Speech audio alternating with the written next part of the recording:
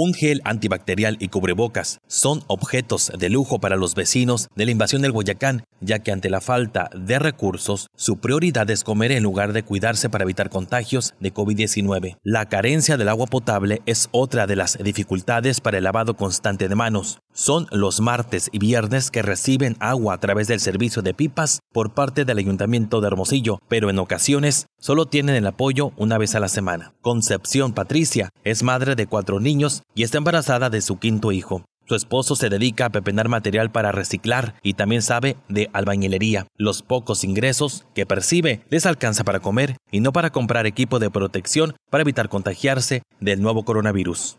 Muchas veces no tenemos los recursos como para, para, para comprar pues ni cubrebocas ni, ni pues menos gel antibacterial, ¿no?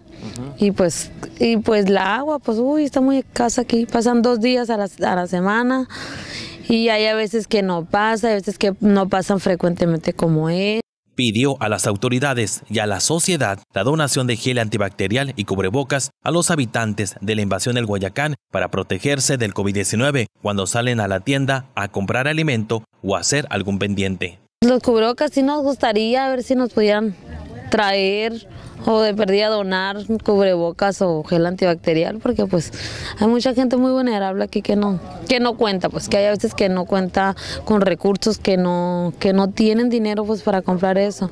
Con imágenes de Rodolfo Reátiga Alan Rubio Mega Noticias